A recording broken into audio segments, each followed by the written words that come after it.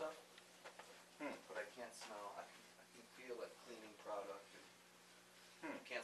gas leaks or anything. Always been that way?